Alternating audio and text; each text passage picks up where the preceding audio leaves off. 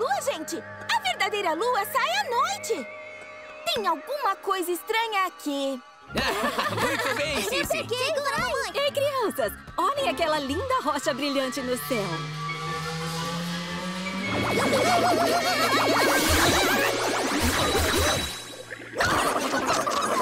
Você não vê isso todo dia! Você viu isso, Bob Esponja? Bob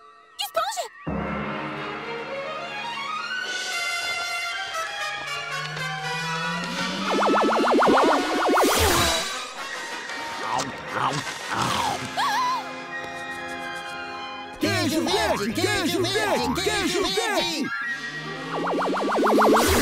Ai, Bob Esponja! Patrick!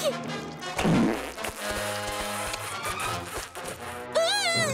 Ouçam todos vocês! Fiquem longe da luz! A luz é ruim! Corram pra sombra! É tão romântico. Eugenizinho, me dá uma bitoquinha. Sabe que eu não resisto a um bom beijinho.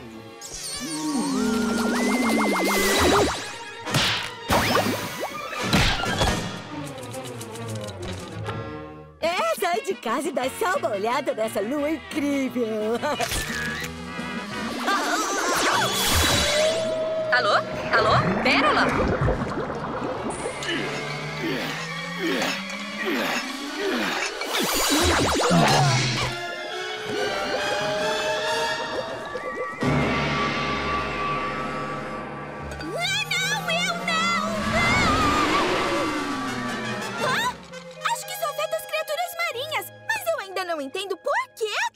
Verde está transformando todos em peixes selvagens. Será que eu sou a única que sobrou? Oh, quem quer que tenha sido o último a usar esse banheiro é um selvagem.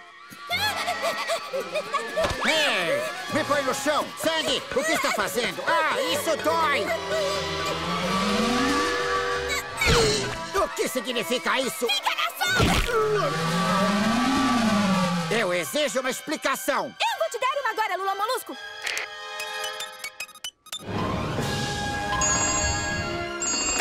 Alô? Narrador francês falando? Ei, francês! Sou eu, a Sandy! Ah, Sandy Bochechas. Como vão as coisas? Ah, não vou muito bem, francês, sabe? Tem uma... Não diga mais nenhuma palavra. Eu passei o dia todo monitorando o comportamento da Lua Verde. Ela se chama Lua de Netuno.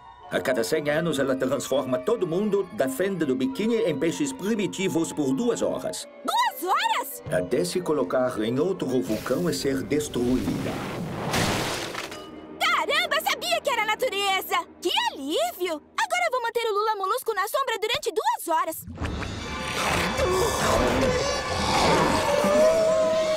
Ufa! Obrigada, francês! Ah! Eu vou pra casa me esconder!